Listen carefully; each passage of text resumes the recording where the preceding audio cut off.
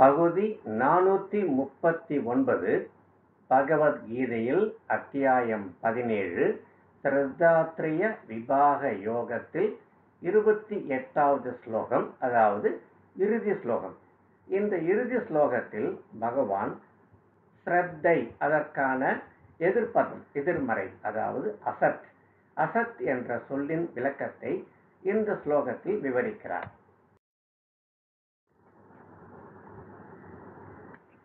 अश्रद्धया हुतं दत्तं तपस्तप्तं कृतं च यत् असदित्युच्यते पार्थः न च तत्प्रेत्यनो इह இந்த ஸ்லோகத்தை பாடியவர் திருமதி பிந்து அவர்கள் பகவான் கூறுகிறார் சத்பாவம் சாதுபாவம் போற்றத்தக்க கர்மங்கள் செய்யக்கூடிய கடமைகள் இவற்றையெல்லாம் சத் என்று கூறினேன். இதற்கு எதிர்மறையானது அசத் அதாவது சிரத்தையின்றி செய்யப்படும் சாஸ்திர விதிப்படியான கர்மங்கள் எல்லாமே அசத் என்று கூறப்படுகிறது. அவற்றிற்கு இம்மையிலோ மறுமையிலோ எவ்வித பலனும் ஏற்படுவதில்லை. அப்படி என்றால் என்ன? பலனை விரும்பி சாஸ்திர விதியை ஒட்டியும் செய்யும் கர்மங்களால் இந்த ஜென்மத்தில் செல்வம் குடும்பம் போன்ற வளங்களை பெறலாம். அதில் ஒன்றும் சந்தேகமில்லை. ஆனால் மரணத்துக்கு பின்பு ஸ்வர்காதி போகங்களை அனுபவிக்கலாம். அதிலும் சந்தேகமில்லை. ஆனால் அக்கர்மங்களை பற்றற்று செய்வதன் மூலம் அந்த கரணம் தூய்மை பெற்று பகவத் பிராப்தி கிடைக்கும். அது கிடைக்காது. ரத்தையின்றி செய்யப்படும் கர்மங்களால் பலன் இல்லை என்றால் பாப கர்மங்களுக்கும் பலன் இருக்கக்கூடாதே என்னும் கேள்வி மனதில் எழலாம்.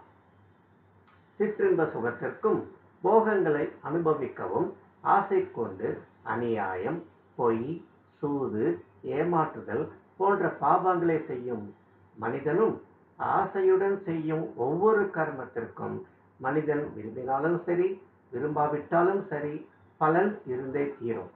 என்ன பலன் அது? என்று பார்த்தால்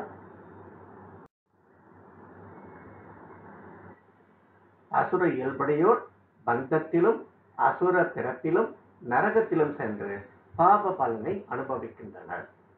ஆனால் பெரிய பெரிய யாகங்களும் சிரத்தையுடனும் சாஸ்திர விதியை ஒட்டியும் பலனை எதிர்பார்த்து செய்யப்பட்டால் அவை பலனை கொடுத்து அழியுமே தவிர பகவானை அடைவதற்கு முடியாது. அதே கர்மங்கள் சிரத்தையின்றி செய்யப்பட்டால் அசத்தாகி சத் என்ற ஒரு பாக்கியத்தை இழந்துவிடும். அதாவது பரமாத்மாவை அடைவதில் செயல்களுக்கு முக்கியத்துவம் இருக்காது. சிரத்தைக்கும் எண்ணத்திற்குமே முக்கியத்துவம் தரப்படுகிறது. அசிரத்தையுடன் செய்யப்படும் கர்மங்கள் அசத் என்று ஏன் கூறுகிறோம்? வேதங்களும் பகவானும் சாஸ்திரங்களும் கருணையுடன் மனிதன் உய்வடைய வேண்டும் என்பதற்காகவே இந்த சுப கர்மங்களை கூறியுள்ளனர். ஆனால் இம்மூன்றிலும் சிரத்தையின்றி சுப கர்மங்களை செய்யும் பொழுது அவை அவர்களுக்கு அசத்தாக முடிகின்றன. இந்த மூன்றிலும் அவர்கள் காட்டும் அசிரத்தையின் அதாவது அசத்தின் காரணமாகவே அவர்களுக்கு நரகம் போன்ற தண்டனை கிடைக்க வேண்டும். ஆனால் அவை சுப கர்மங்கள். அதனால் அவை சுப பலனை தருவதில்லை. அதுவே அவர்களுக்கு கிடைக்கக்கூடிய தண்டனை. ஆகவே மனிதர்கள் யஞ்சம் தவம் தானம் தீர்த்தம் விரதம் போன்ற சாஸ்திரம் விதித்துள்ள கர்மங்களை சிரத்தையுடனும் பலனை எதிர்பாராமலும் செய்வதே சிறந்தது என்கிறார் பகவான். பகவான் மிகுந்த கருணையுடன் மனித பிறவியை கொடுத்துள்ளார். அதை கொண்டு நமக்கும் பிறருக்கும் நன்மை தேட வேண்டும்.